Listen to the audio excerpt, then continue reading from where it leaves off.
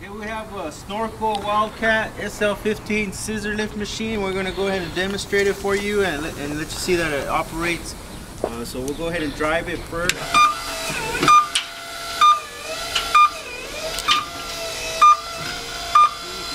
Wheels to go in direction.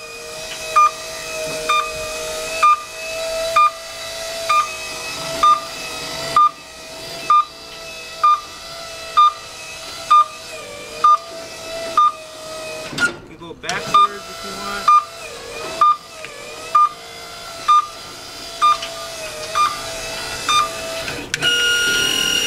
We'll go ahead and go up now.